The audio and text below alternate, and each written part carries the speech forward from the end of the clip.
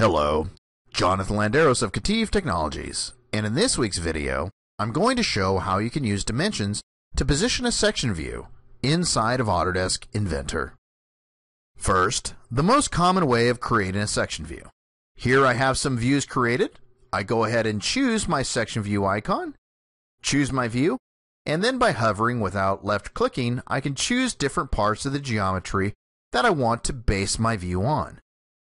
By hovering in the correct spot, I can project a midpoint, a center, or a quadrant, for example.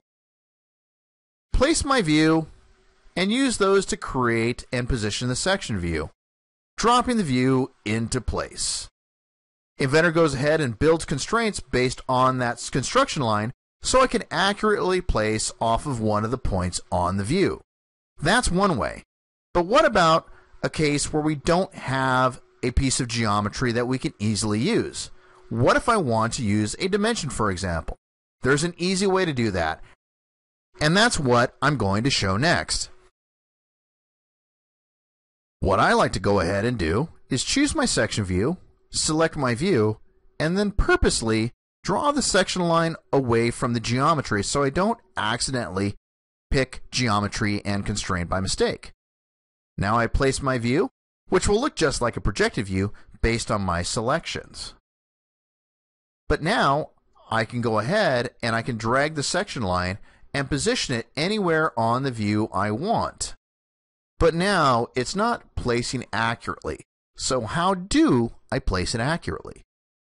I can do that by right clicking on the section line and choosing Edit. That's going to open up the sketch that the section view is based on.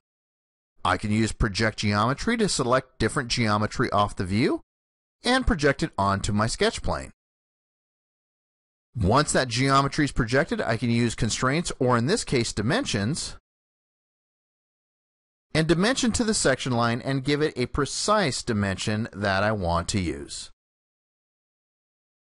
Using Finish Sketch, I can go ahead and complete that, and now the line is accurately positioned. And at any point, I can right click and edit that again, and use the dimension to reposition the geometry.